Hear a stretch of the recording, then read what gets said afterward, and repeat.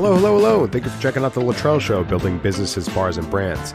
I recently had the opportunity to catch up with an old friend, Chef Dave Martin. If you can't think of the name, um, in back in 2006, he took a chance on a new reality show called Bravo's Top Chef. Since being on the show, he has established himself as a consummate professional in the catering and events businesses, as well as consulting on some monster projects in New York, US, and worldwide. What I really enjoy about Dave's business is that he is like a chameleon. Um, he can adapt to pretty much any situation. He has an extraordinary range of global cuisines, and that makes him in very high demand in casual and upscale dining. So I'm so pleased to have Chef Dave Martin uh, on my show. Thank you so much, Chef Dave Martin. So, uh, so tell us about your career. How'd you get started? So, you know, this is you know, technically my second career, I was in uh, on the tech side of things before I switched to food, which would have been in 2002. I went back to school, um, you know, culinary side of things this time, and kind of pretty much a real fast track. Um, I was doing like side gigs with Spago and events, uh, and then kind of rolled right into uh, an executive chef role in Manhattan Beach, California, and then landed on Top Chef, and then got moved to New York, and then, you know, spent the last 12, 13 years there, you know, really growing and learning and, you know, kind of building my brand, building my company, and, you know, working my ass off. Yeah. I mean, I mean, building your brand is, is first of all, it's a big deal, but I mean, you were on, you know, how where, where did Top Chef come in, and and how did that help? Yeah, Top Chef, you know, that was actually from Craigslist. So, um, you know, I was a recruiter, and so I even when I switched to food, I was, and I still look for all my own gigs. Like that's just what I do. I'm always just seeing what I might find out there. But, um, you know, that was just a huge platform. It was season one. I mean, it was kind of before it was really cool, but you know, there was a large audience, and that kind of you know, it just was a big help. You know, I was a very young cook at that point and, you know, just like a year and a half or so out of school. So still, you know, kind of lame on my end, but, you know, you got to start somewhere.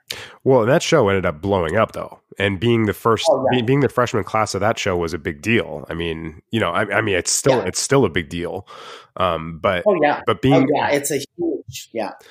But I mean, did you have to look for work so hard after, after that? Or, I mean, that was really good exposure. Um, yeah, the exposure was good, and I happened to be in New York and met some people that were opening a new place, and boom, they moved me to the city, and that exploded right after I got there because they were ran out of funding. So I was like, okay, great, I've left any work behind. I'm in New York, and what am I going to do? So I actually started hustling and just making calls and calling venues where I could get in and do gigs, corporate gigs. Um, so I started picking that up. I did some shit in the Hamptons. It was a nightmare. That story's scary, but mm-hmm. um, you know, this was like. And then I reached out to a friend, uh, Marc Murphy of Landmarc, and I was like, dude, I'm like, you're one of the few people I know here. Like, I don't want to work in the kitchen, but can I be a server? And actually, I worked as a server for two weeks at Landmarc and met people that had a restaurant, and they hired me as their chef to like get them going. Wow! So that's the you know, yeah. So I'm kind of a hustler. Like I, you know, I'm there. I got to figure it out. You know, it was expensive, and I was yeah, it was very frightening. But that's kind of how I rebooted myself right after getting to the city and having everything kind of implode on me. That is not. It's a, a shamefully uncommon story. Like that kind of that kind of shit happens all the time, where you like have things lined up, you have the skills, you have yeah. the opportunity, and then for whatever reason, the infinite variables that you can't control, something happens and it and nothing happens. Um, you know, yeah. like recovering from that is a very very difficult thing. Like, how does one do that? Like from a mental standpoint, it's got to be disappointing. yeah, you know, it's disappointing, it's frightening, it's kind of every emotion you're experiencing, you know, especially coming to a new area. Um, yeah, you know, I, I'm sure like for a couple days I freaked and called all my friends back home and then just was like, okay, we'll get on the phone or figure something out because you gotta, you know, you gotta generate revenue. And, you know, I'll say that that still takes place you know so for anyone that's curious like you know no matter what level you get to or you're at um, you know, on the consulting side, as I'm sure Jason, you know, like the deal can be the best deal in the world and you've got it signed and, you know, it never finishes, you know, you never go to the finish line. So, you know, those things still happen in my day to day life. And I think that's why it's important that I try to be diversified so that I have my restaurant consulting projects. I have my events, and then I do my other stuff with commodity boards and doing uh, consumer recipe development. So I think it's very important um, as a consultant to be diversified and not just rely on one income stream because they all go up and down right jason? Yeah no doubt. I, I mean uh, my story is that one year i had 60% of my 65% of my revenue came from a single client um, and and I was living high on the hog. I mean, I was doing really well. And then they decided to take my position in house, and so I was down to thirty five percent of my res- uh, of my revenue from one month to the next, and that was devastating. Yep. I did not understand uh, outreach at that point. I did not understand how to hustle up business at that point. I was just like, wow, this is great. This is going to go on for the next forty years, and then I'm going to retire. Um, right. That, obviously, that's like unrealistic. I understand that now, and so now I have a podcast, so I can you know draw attention to myself and my friends. Right. Um, right. But, but, it's like you know, it's really important to like ki- kind of constantly be. Um, if you can't, you know, if you're not a part of something that's relevant, then you need to create the relevance. Correct. And uh, you had written a book at that point, and I think that you kind of got it way, way earlier on that that you know you need to promote yourself as a brand, and you were very good at that. And it wasn't like in that smarmy way either. Like it was like it wasn't like, no, hey, I, am trying to sell you stuff. It was like, hey, I'm providing value, even then. And that was before I. That was well before I understood the whole concept. So I mean, well, you. Well, yes, and I was still learning at that point too. And here's how. Let me tell you how that stuff came about you know, same thing. I was like, how else can I generate revenue? Okay. And I was doing big corporate events or doing food and wine festivals or whatever it might be all around the country. Right. And I was like, well, you know, because my book was self published, you know, I didn't have a publisher, you know, like you got to be really big to do all that stuff. That's a whole different game. So I was like, well, let me just do this on my own. So I ended up doing two books on my own because what happened is, say, I get paid whatever, five or 10K for the gig, I could roll cookbooks onto the whole you know, everyone would they'd buy the cookbooks to give to the client, right? Mm-hmm. And so mm-hmm. that was basically another way another way to make revenue off something that was, you know, already done and published. So that's how the books came about. And then the same thing, that's I started my rub and sauce business because that was also another add-on that I could do, you know, get the big chunk of change for the dinner and then they'd buy you know the client would buy a book a rub a sauce and that would go home with the you know the guest at the event. So it would add on another 60 80 bucks on you know per person that was a takeaway. So that's how kind of like i rolled in the books and the sauces and rubs to have another revenue stream. And then i also with the sauces and rubs marketed to all the box companies and all those companies that were doing the delivery boxes and some uh, brick and mortar. So like I, I kind of forget that I did all that shit too. So. Yeah, yeah, and you you you kind of become this multi-dimensional brand where people can be like, "Hey, wait a second! Not only is he capable of producing this dish at, at my event or at my restaurant or at my consulting opportunity, what or for my for Yum Brands or Pepsi, as you've done in the past, I think, um, uh, but you also can produce these products, which kind of makes you more um, even more marketable, in my opinion, because it means that you can create something and deliver it um, without right. a whole lot of help.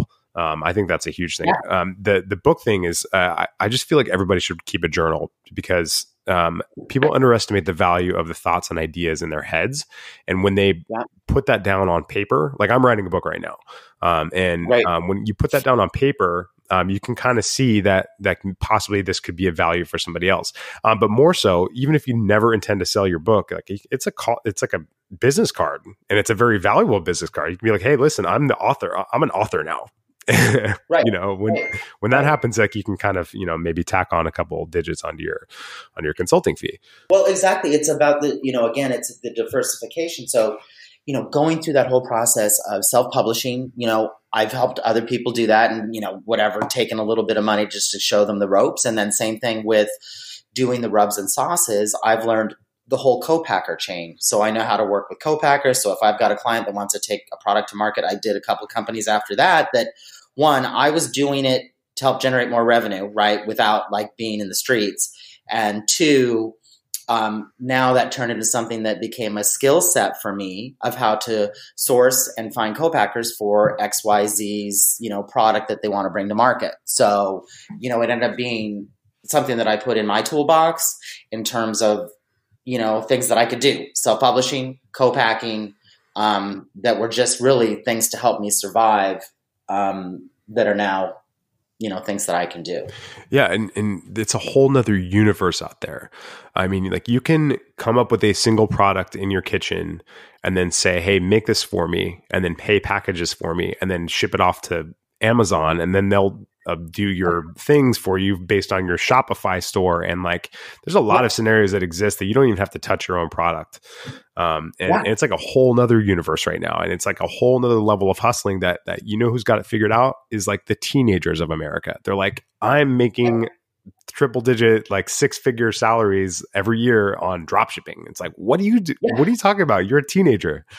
Um, yeah. And it's like yeah. that. It's that. It's like that kind of hustle that that um, I feel like we're a little slow to learn, honestly. Right, right, right, right, right. Well, because you don't know, you know, and so like, you know, I just jumped in and did it, you know, and I, I, I don't, I don't put myself on a pedestal. I like, I that was survival. I'll do it. Me. I'll put you on a pedestal no, but you know what I mean? So like I, I forget that I've done all these things, you know, because I just I just keep going and moving forward and going to the next step and learning more and doing better and all of those things. So I forget like, you know, having this conversation is good because it does help me realize that yeah, like I can figure things out and make things happen and I don't have to always rely on others. That's the real that's a very important thing is you really have to be self-sustaining and really it has to be up to you you know like magically jobs don't fall in my lap. Sometimes they do but like literally right before we started this chat i w- I was online looking for consulting opportunities around the country. So like that's part of my day to day i don't have you know one there's no silver spoon but two it doesn't just magically all come together. Sometimes it does but i'm still in the trenches and seeking out the next possible great client or opportunity yeah, I mean, I was going to ask you about that. What's your uh, client acquisition strategy? Like, how do you go out and hustle up business?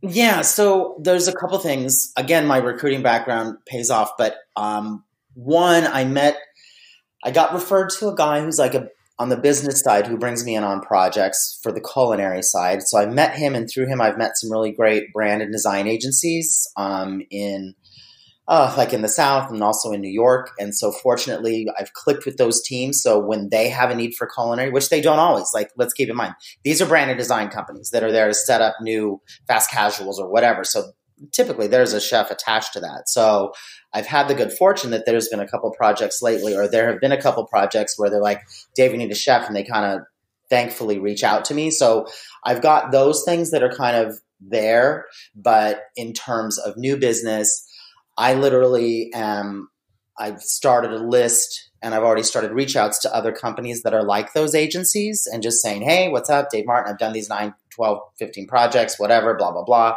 So I'm doing actually personal reach outs to other groups. Like that's something I'm doing currently since, you know, it's new year, just wrapped up, opened three concepts last year, you know, got to get the ball rolling again this year. So that's kind of where I am personally, you know, in 2020 is starting new reach outs. And then I'm in course, I'm in, I'm in touch with the other groups, but you know, it, it's, it's always seemed for me that it's either I have 30 things going on or like zip. So yeah. when I'm zipping, I like, that's when I get back to like grassroots and doing whatever I've got to do and, you know, reaching out to everyone, especially beginning of the year. I like to wait till like February. So you're not bugging people, but you know, it's a, you know, it's a full time job trying to keep yourself busy. Oh, so. totally. Yeah. No, it's like as an independent consultant, your job is to get a job. Like it's like it's mm-hmm. not unlike politicians. Like it's like their job is to get reelected. As soon as you get elected, you have to find out what's next.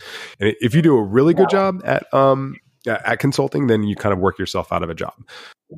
Correct. Correct. I mean, do you like what's your primary tool for that? Like, do you use email mostly, or do you use phone? Like, pick up the phone and phone, make phone calls. Um, the way I do it is I, you know, go online and identify companies and such, and then I then I find out who the partners in are. Then I'll email them. So that's kind of what I'll do. I'll just create a list, and then, um, you know, find out who the key players are, and then go from there and do the reach outs. So it's kind of like a three step process. You know, we talked about um, a little bit about the kind of mental burden on a on an independent consultant. Like, do you have like some sort of a morning routine, or is there is there something that you do every day to kind of keep the keep the regulate the the mental and physical strain of the job? Um, yeah, I mean, I definitely, I, I'm very structured and I'm very organized. So I have old school paper lists, I have electronic lists, you know, so I use all those tools, whether it's, you know, old school or modern. So I have those things. And, um, you know, I get up, I have my little bit of cold brew, my little kombucha, take my, you know, anti stress, um, homeopathic meds, nice. acupuncture, you know, I have those things in the background. But, um, yeah, the key is to really be organized and have a day, you know, have a daily action plan, have a weekly action plan. You know, you, again, if you're on your own, you know, it's one thing if you've got other people driving this, but you have to drive it. So, like, I'm very diligent in having the daily list, the weekly lists, um, as I said, in both paper and electronic format. And each day it's like, okay, boom, this is what I'm doing today. And I think when you look at things like marketing or reach outs, like I'm talking about doing with these new agencies, I have to be in the right mood mood for that and like make sure my energy's up, especially if I'm going to be physically speaking. But certain days I do certain things. So certain like Mondays maybe not a day that I'm in the mood to do that because you're putting yourself out there. Um, so maybe Wednesdays more when I you know so I put things in certain days based on how I am, you know, mentally, emotionally, like where I'm where my head is at. Yeah. Yeah, no, I do the same thing. That's why, like, uh, when I book podcasts, for instance, like I have, I send out a link and saying, yeah, book the time that's most convenient for you in the with the link, and you'll notice that Mondays are not available. Um, that's what that yeah. that's when I like reserve my day for all the inflow from clients, um, and you know to put out any fires that may exist. But also, I just don't like to do shit on Mondays. Um, I also try not to do as much as possible on Fridays because I like long weekends, and that's the kind of the that's the other end of the of the double edged sword of being a consultant is that you have a lot of freedom to create your own schedule. Um, I'm like you. Right. I, I, very much like a, a, good amount of structure. Um, and so I keep just yeah. massive, massive checklists, um, uh-huh, checklists that uh-huh. I will never, ever get through. Um, and then just try yeah. to kind of work work on things as I find them convenient and I, I, find myself mentally available to work on. Right, or as they're prioritized. Like you know, I've got a big event in August, so I have things lined up for it, and I'm getting all the paperwork and things in order. But it's like it's not until August, but I'm already I've already got fifty percent of what I need to do done now and I'll have it all done next month. So I think that's important too is when that is in terms of if it's a physical event or something, but you know the the actual timing of when you need to have everything in place, but always in advance. Okay, that's crazy. Okay, so you're talking about events in August. Um, we're recording this on February 11th, by the way. Um, so Dave is uh, organizing things for August right now. Uh, I'm trying to master today, like later today, like as soon as like as soon as we hang up. Stop. No, you know what I mean. You kind of like you have to like you know. For me, just because of my OCD and ADD and all that stuff, like I just I'm just always anxious about stuff. So I just, if I can get everything done like way in advance, like I love to do that when I have that opportunity. Yeah. Uh, do you also give yourself time to like not do that? I mean, do you? Uh, I mean, there's there's oh, there's OCD and then there's intensity. I, I feel like, I mean, I don't know. Maybe it, maybe it actually is OCD, but um, but like I feel like it's probably intensity, and you put a lot of intensity into your work, and I think that that's very important, and I think that that's totally different. I'm I'm I'm very similar. Yeah um, you know, like obviously I, I, use systems like Trello and like Slack to communicate with my teams and to and to make sure that things are done in priority order. Um, wow. But once I'm done, I'm done. And like once I put it down for the day, it's down for the day most of the time. I mean, at least I think. Yes. I mean, I, I, can't I can't turn off my brain obviously, but like I'll I'll close my computer and be like I'm done for the day. Oh, definitely. I'm definitely, and that's the best part of you know running your own companies and businesses, which I've done for 25 years now. Like that's why I can never really go back. I, I like having the flexibility, so when it isn't crazy, you know, I like when it's not crazy, I, I, but when it's crazy, I'm I'm down. Like I can go, you know, I can go, you know, whatever, 14 days in a row, whatever the situation requires. But I'm trying to learn to be better. So when I do have downtime, to really kind of embrace that. So 25 years is a really long time. Have you ever thought about hanging up your knives and getting some cushy corporate gig and just retiring? No, no, I can't retire. I got I got too much more money to make. So um, yeah, no corporate gig. I mean, unless it was like, oh yeah, you know, we're going to pay you a couple million a year, but otherwise, I just can't. Um, I mean, I'd rather work at Trader Joe's. Like, I can't. Yeah, yeah, not ready. Definitely not ready. I have a lot more to do, and you know, I'm still trying to figure that figure out what that is. But I know, you know, again, I, I like the diversity of the consulting and the events because it's kind of like right brain, left brain. Mm-hmm. And I get satisfaction from both in different ways. You know, the consulting clients are normally, you know, at least events, you know, I can do the event, do the dinner, do the, you know, whatever it is, corporate cooking class. And then like I get all the accolades of everyone loving it. Like that's, that's a more an immediate reward. The consulting is maybe more on the financial at the end of the by the end of the project. Mm-hmm. If that makes you know, do you agree? Well, I mean, it it depends. I mean, some of them are better than others. Like corporate clients are always good, typically, and, yeah. and lucrative. But then you yeah. get these kind of nickel and dime things that kind of that you're really into. That that you know you don't they don't necessarily. It's like off Broadway or off off Broadway gigs that you're just like, I'm, right, it's not right, as much right, money, but it's but I'm really into it. And then there's like. Yeah, what I really like is the event jobs because it reminds me yeah. of when I was a shift bartender and it was just like, okay, you work, you go and you work your job and then you take your money, clean your bar, and then you walk away and then you forget about it forever. yes, yes, yes, That's what I like about that's that's a great way to put it, and that's what I enjoy about that is that you know you have the lead up and the build up, and then you're done, and it's awesome. I love that closure. Yeah, me too. Me too. Um, I mean, so it doesn't always work out like that. Obviously, sometimes it's uh, sometimes things linger. Um, sometimes that's a good thing. Sometimes it's a bad thing. But uh, I mean, the things that you've been working on as far as like these big um, these big dining parks. Uh, I remember you turned me on this this thing last year, and yeah. it was a big it was a big big project. I mean, we're talking about you know ten thousand covers a day, something like that. It was a big fast casual operation with multiple outlets in, in the same park, and and it was kind of built into some sort of residential thing, if I remember right. Yeah. Uh, yeah. Um, and that is kind of what we're going to start seeing a lot more of it seems like because that's not the first yeah. thing that's not the only thing like in that similar vein that's come across my desk and like i have a couple pitches in for something like that right now and um, it seems to be like that is a much more that's a much safer bet for for developers for um, yes. for landowners yes. And uh, and for consumers as well. I mean, it seems to be like consolidating fast casual rather than doing these mega dining outlets is kind of yes. what we're going to see in the future. And and in your opinion, what is the what is the future of dining? in the gig and and and uh, convenience economies. Yeah, yeah.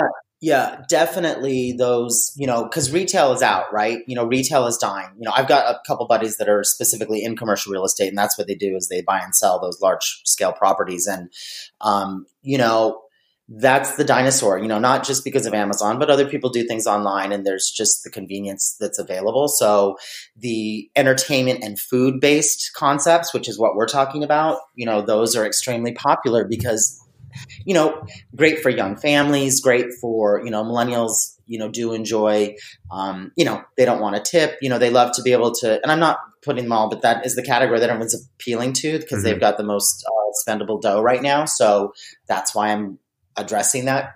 Um, yeah. You know, hey. pool of people. I mean, it's all good. Like millennial, that's great. You know, embrace it. Be a millennial. I don't care.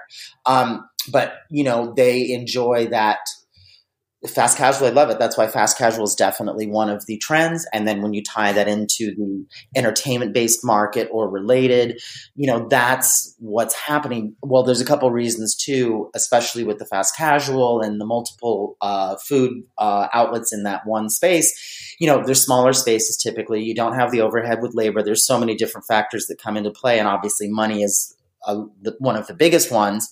And one of the biggest reasons places fail or close is because you know rent and space and staffing and you know there's so many things that make it collapse aside from poor management. Um, yeah poor management poor management and undercapitalization i would say are probably the top two reasons bars are correct. correct. Exactly. And then a whole subset of like a hundred other things. But um the uh you know definitely that's happening you know fast casual uh you know and there's a couple categories of fast casual that I, you know, there's like the super fast casual that has no booze and stuff like that. Then you have, you know, kind of the upscale fast casual where, you know, they may bring it to your table. There's like a bar component that's tied into that, right, Jason? I'm sure you're seeing. There's and there's, there's kind of the couple like Q yeah. like QSRs and fast casuals are kind of starting to merge a little bit. Like you see this where like Starbucks yes. is starting to serve liquor now, and um, and Chipotle is starting to serve beer, and like yeah, they're they're kind of starting to merge. Taco Bell, Cantina, you know, so you're seeing the the convergence of the two, and then that way it can appeal to those other consumers because I'm a although I like I I you know work on a lot of fast casual and related concepts, like that's not where I dine. Like right. I like a server. Like I don't want to like carry a number. Like that's just not my thing. Because one, I do it for a living. So like I do enough that at home and for my friends and family that when I go out, I want to have a server. Like I want to be served. I'm not carrying my fucking tray. You know. Mm-hmm. So um, I'm definitely. I mean, I'm a different demographic, but part of it is because of my career. So I want a real experience, not fancy, just I want it to be good, but I want someone to take my order. Well, and that and that expectation is right out there in front, and you're willing to pay for it. You're willing to pay gratuity and blah blah blah blah. Yeah. Yes, exactly. Yeah, exactly. In the context of where you see QSR and fast casual going, yeah, um, yeah. um, and I was going to ask you about your strange ability to adapt to any global cuisine ever. Like, what do you think about in-home experiences? Yeah, so there's so there's two things. So on that, in I want to throw one other thing on the QSR fast casual. I think what you're seeing now, and this is a trend based, right? If you're noticing, which I know you are, but you know, whoever, if you're there listening, look out there. There's so many other things that are coming. It's not just burgers and pizza. Like, you know, that's blown and it's still growing. I don't know how, but, um, you know, you've got burgers and pizzas are, got, are safe. Oh, totally, totally. You know, but you've got Indian, you've got all these other, you know, because we've run out of stuff, right? We've run out of the the norm. So there are definitely a lot more global flavors coming into play, and that.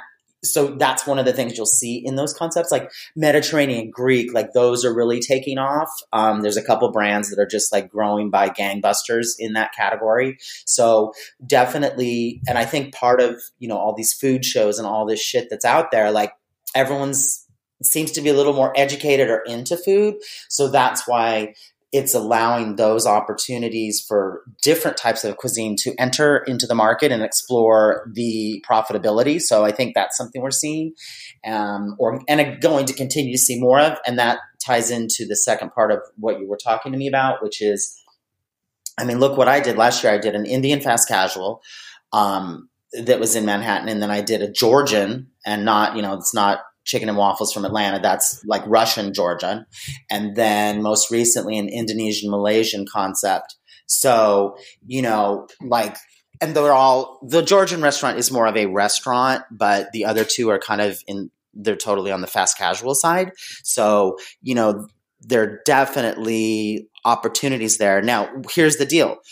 One, there's an opportunity, but we have to, you know, do these work. And that's really the next thing that we need to kind of see. I know the Greek and Mediterranean really seems to be working, but I don't know how Indian and some of these others. And like I've seen a lot of, uh, there's another brand that has like 12 locations now. It's like a kebab style joint, which I guess still ties into that uh, Mediterranean Middle Eastern.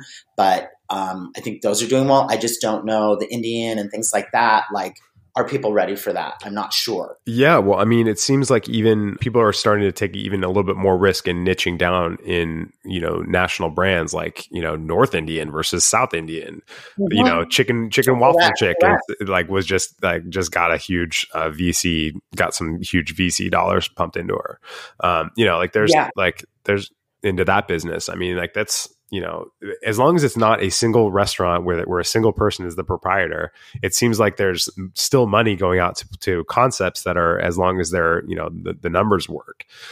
Uh, yes, yes, there are definitely that, and then there's a lot of just like independents that have some dough and want to try it, and so you know, the, it's. I mean, at the end of the day, it's a litmus test. I, you know, you don't really know, and it'll be interesting to see how you know these concepts they're all still open right now. Well one just opened this week so i'm hopeful they're still open. But um you know the uh it's just you know there's just so many factors that it takes to be successful in the food game. And especially when you're you know exploring a new concept or not the traditional you know aka burgers and pizzas. But that's in answering the other question. I'm super stoked that i've been able to land these. Well for example the indian client was indian the Georgian client was Georgian. So the fact that I was able to get in and have them meet me and have me have them trust me with you know preparing you know the food of their childhood or their uh, culture or background you know has been really awesome because I take it. I love that. I mean, I, I feel like you know I'm French trained and all that, and I'm very well traveled, so that obviously helps. And I, I, I like to try different types of cuisine, but I really love that opportunity and challenge to create food from whatever region. And I kind of really do a deep dive into it. And um, I really try to keep it uh, true to the origin in terms of ingredients and you know really make it real yeah i mean how much of it do you think is like your ability to reproduce traditional dishes from a, a country that you've never that you've never lived in versus how much you're able to be a wise business decision because you have experience and you're reliable and you know what you're doing on the business sense. Like you can cost out a dish and say, this is how this fits into your overall business plan. Right, right. So keeping those two in sync, the the the true dish and the pricing. Is that the question? Yeah, yeah. yeah. I mean, like it's like yeah. like when you, like if you have an Indian client who's coming to you, um, this this guy from Southern California, um, right, and saying, "Can you reproduce an Indian dish?" When there are other consulting oh, chefs from India out there, I'm, I'm presuming um, it's a country yeah, of a billion totally. people.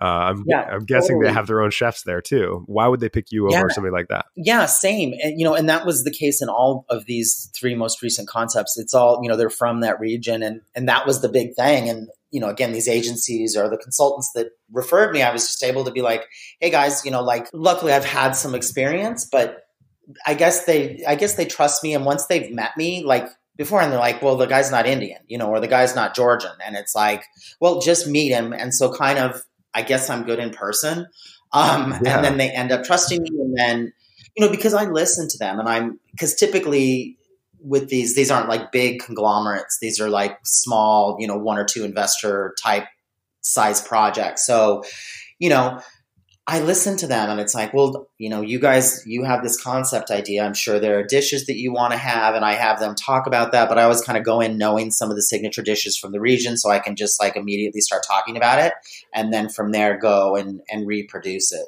Uh, like with the Georgian concept, they actually, I went to Georgia for three or four days, um, which was, uh, yeah, it's great if you love chain smoking. But um, I mean, I'm was, just I'm just picturing it, a lot of briny food and vodka. Uh, I mean, I don't know. I don't know anything about Georgian food. yeah, it's it's very interesting. It's very heavy, you know, because again, it's regionally based, the temperature and the weather, but um, a lot of cigarettes. But uh, you know, it was cool. That was a great immersion, which um, you get to really. We saw all the different facets. You know, we saw the mom and play, pop places. We went to a higher end place in a museum. They did a day where all their friends and family brought dishes over, so that was a really great immersion for me to really kind of see and taste and you know understand where they were coming from in terms of uh, the food side of things. So that was really great. And then when i do the other concepts like indian and such again they have a little inspiration and then i'll have them go i'll go to their favorite places with them to kind of understand where the direction is. So that's kind of how that i'm just kind of sharing how the process works typically. And even when um, you know, or if it's a Mexican concept, like, I mean, I can do that with my eyes closed, but, um, yeah. You know, things like that are super easy. But, you know, e- anytime I go to do one, like I was working on another one, and some of these never go to the end. They get halfway through and they're like, oh, we're not going to do this. I'm like, okay, great. But um, even if I was doing like an American, like comfort food one, even in that, even though that is totally like boom, like no brainer for me, we still spend the time to take the client and go check out a, a lot of other concepts and kind of see what they like and make sure that in terms of not just the branding, but in terms of the food and how we're going to put it all together, that's kind of what uh, we do as a team to ensure that we're kind of staying on track and then I guess I'm just sharing more about kind of how the process works for people that don't know. You know, we start at point A and then we go through this whole process, the immersion, we do the tastings and then do the menu selections and then, you know, get further into that costing and, you know, doing suppliers and training. But um, that's kind of part of the process in any concept, which is I, I enjoy that. Pro- the immersion is kind of my favorite part because yeah. it keeps me on top of things to see what's happening out there. But um, and and yeah, I mean, and the the life cycle of like onboarding a client. I mean, even despite all that vetting that you do, where you say, "Hey, this is what what I'm thinking. Um, this is uh, these are the dishes that I want to prepare for you." You actually prepare the dishes for them. They taste them and say, "Okay, this is great," um, and then then you move on. And then occasionally, sometimes the whole process stalls. Right?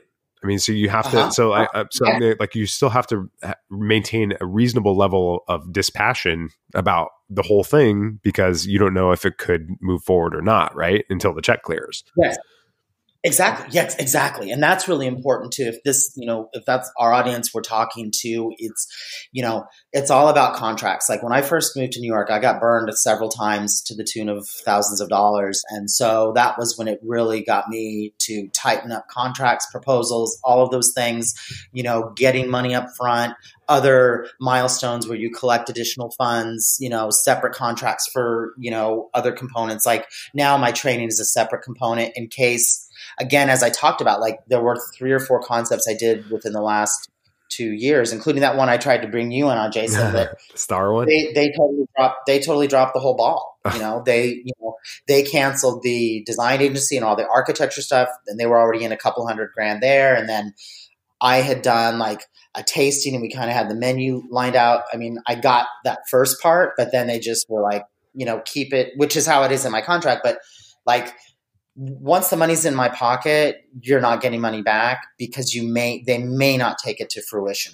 And that's I have literally four projects like that that we did tastings, you know, they were already like you know in the architectural phase, brand and design, and then who knows why they just decide not to do it. So that's something that everyone needs to be very leery about no matter how well funded or how amazing and perfect everything seems you may not make it to the finish line. So that's something that the last four or five years, as I've delved more into these types of projects, I've learned that, you know, great, you can put that whatever X dollars on your AR, but you may you're only going to see you may only see part of that. Yeah, right? it, it's not push like saying, "Hey, this is my number," um, and saying, "This is I need a deposit on this before I start working" is not pushy. It's professional. It's what everybody, it's what all the other trades do. Like you say, this is what I cost. This is my number. If you want to negotiate, yeah. maybe we can negotiate. Okay, fine. Um, right. But um, but once you sign this contract, then it comes with another piece of paper. Um, yeah, yeah, and that's and that's not.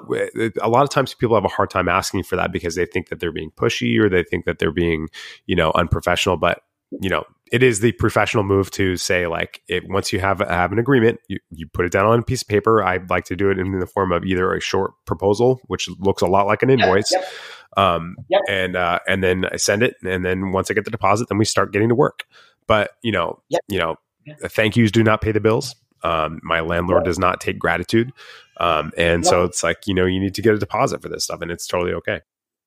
Yeah yeah. So definitely proposal contract, scope of work, everything clearly spelled out, and then what those milestones are in terms of payment, which I think I used to have like 50, 50, now it's like 50, 25, 25. Like I, you know, I'm not messing around because I want whatever work I've done to that point, I want to be compensated for and not, you know, have it flop or something like that. And the monies that I lost years ago weren't they just weren't like this. There were just, you know, maybe some more Mickey Mouse people that, you know, you trusted them you know, New York.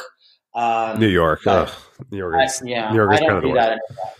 Yeah, it is the worst. So, you know, I learned early on in the first couple years, and then from there, that's just something that's very important is to have a solid proposal that outlines what you're doing and what your role is along with your comp plan and how you're being paid and you know yeah where when and where that's taking place. Yeah, a lot a lot of this falls in line with phase planning. So if you're like, okay, and I and I like to get paid for the also the pitching process.